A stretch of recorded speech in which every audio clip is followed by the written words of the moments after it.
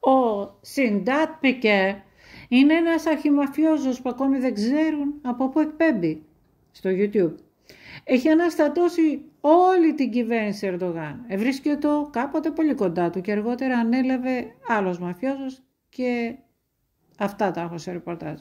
Έχει περιγράψει δολοφονίες δημοσιογράφους στα κατεχόμενα, έχει δώσει στοιχεία που και είναι πρόεδρο Βουλής στην ουσία τον έχει ξεφτυλίσει κατ' επανάληψη. Μίλησε για τέος πρωθυπουργό και για τον ιό του που πήγε φορτωμένος ναρκωτικά και έλεγαν μάσκες και άλλα εποχή κορονοϊού και έφτασε στη Βραζιλία και το χείριστον δολοφονία γυναίκας φοιτήτριας δημοσιογραφίας μετά τη συνέντευξή της με βουλευτή.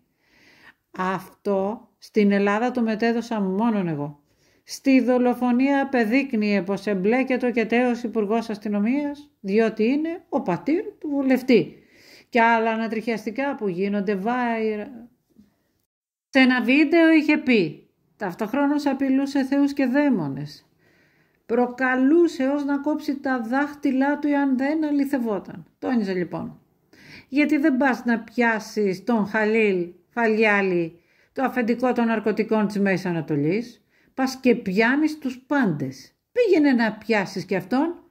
Αλλά ξέχασα, αυτός έχει κασέτες και πυροβολή κιόλας.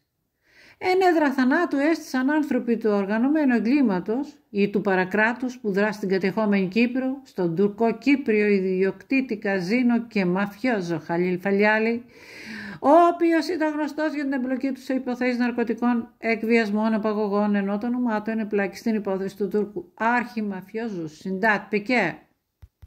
Ο Φαλιάλη και ο οδηγός του έπεσαν νεκροί σε επίθεση που δέχτηκε με καταιγισμό πυρών το όχημα στο οποίο επέφαιναν. Το συμβάν έγινε στον Άγιο Επίκτητο Κερίνιας όταν ο Τουρκοκύπριος επέστρεφε στο σπίτι του και ακριβώς από πίσω σε άλλο όχημα ήταν η σύζυγος και τα τρία ανήλικα παιδιά του που έγιναν μάρτυρες αυτής της ενέδρας. Το όνομα του επιχειρηματία Φαλιάλη ήρθε το τελευταίο διάστημα στο προσκήνιο στο πλαίσιο των αποκαλύψεων του γνωστού αρχιμαφιόζου. Ο Φαλιάλη τέθηκε υποκράτηση πριν πολύ καιρό στα κατεχόμενα κατηγορούμενος για παγωγές κλειδοδαρμού, ενώ το όνομά του είχε μπλακεί και σε υποθέσεις εμπορίας ναρκωτικών, είναι αυτός που βλέπετε. Η τουρκική ιστοσελίδα Haber Kibris γράφει ότι στα κατεχόμενα επικρατούν συνθήκες εκτάκτου ανάγκης με την αστυνομία να προχωρά στη λήψη έκτακτων μέτρων ασφαλείας σε λιμάνια, αεροδρόμια, και οδοφράγματα, ως και όχημα έχουν εντοπίσει που εμπλέκεται και δόθηκε στη δημοσιότητα. Όμως τονίζει ότι δεν ανταποκρίνονται στην πραγματικότητα πληροφορίες που είδαν το φως δημοσιότητας για δύο δράστες σε όχημα. Η γενή του Ζεν μεταδίδει το Κυπριακό Πρακτορείο Ειδήσεων δηλαδή γράφει για ξεκαθάρισμα λογαριασμών, ενώ η Χαβαντή αναφέρει ότι υπάρχει πόνια για διαρροή πληροφορίας που βοήθησε τους δράστες εκ των έσω. Και αυτό επειδή το κομβόι της οικογένειας Φαλιάλη που επέστρεφαν από το ξενοδοχείο που ανήκει στον όμιλο επιχειρήσεων τους στην κατεχόμενη Κερίνια, στο σπίτι τους, στον Άγιο Πίκτητο Κερίνιας, αποτελούνταν από τρία αυτοκίνητα. Σύμφωνα με την Χαβαντή, οι δράστες γάζωσαν με αυτόματα όπλα μόνο το δεύτερο αυτοκίνητο στο οποίο επέβαινε ο οδηγός σωματοφύλακας και ο Φαλιάλη, οι οποίοι σκοτώθηκαν βέβαια. Η Αυρούπα γράφει ότι για την δολοφονία χρησιμοποιήθηκαν Καλάσνικοφ και Χαλκίνς Σεσί αναφέρεται σε δουλειά επαγγελματιών. Η Κίμπρι αναφέρει ότι ο Φαλιάλη δέχτηκε στο σώμα και το κεφάλι 18 σφαίρες, ενώ στη σκηνή του εγκλήματος εντοπίστηκαν 48 κάλικες. Σύμφωνα με πληροφορίες από τον τουρκικό τύπο, ένα από αυτά τα αρχεία ενδέχεται να βρέθηκε στο επίκεντρο της γνωστής υπόθεσης που οδήγησε σε παρέτηση τον τέος πρωθυπουργό Εσάν Σανέρ τον περασμένο Οκτώβριο.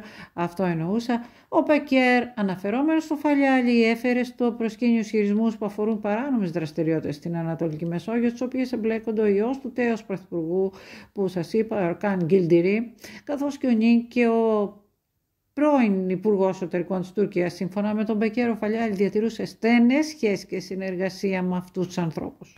Τουρκικά δημοσιεύματα εστιάζουν στην υπόθεση Φαλιάλη. Επισημαίνουν ότι ο επιχειρηματίας απέκτησε στα κατεχόμενες ισχυρέ διασυνδέσεις πλούτο κατά τις προηγούμενες δεκαετίες, ελέγχοντας σταδιακά το κύκλωμα παράνομου τζόγου, αναπτύσσοντας μεγάλη δραστηριότητα στην τουριστική βιομηχανία. Τα τουρκικά δημοσιεύματα υπενθυμίζουν ότι η οικογένεια Φαλιάλη πριν από λίγα χρόνια επιχείρησε την εξαγορά της αγγλικής ομάδας Φουλχάμ Τούρκοι Κύπροι δημοσιογράφοι στην Κύπρο βλέπουν υπέργειο και υπόγειο πόλεμο έτσι ακριβώς και πολιτικούς μπλεγμένους στο τρίπτυχο ναρκωτικά δισεκατομμύρια λίρες και sex tapes που έλεγε ο Σεντάτ Πεκέ για ηθήνοντες. Άλλωστε πρόσφατα έγινε ρεζίλη όπως είπαμε κρατεός εκεί. Μένες ειδήσεις, έγκαιρη, έγκαιρη ενημέρωση, κοινοποιήστε τα βίντεο, εγγραφείτε για να λαμβάνετε ειδοποίηση. Η αλήθεια πάση εδώ.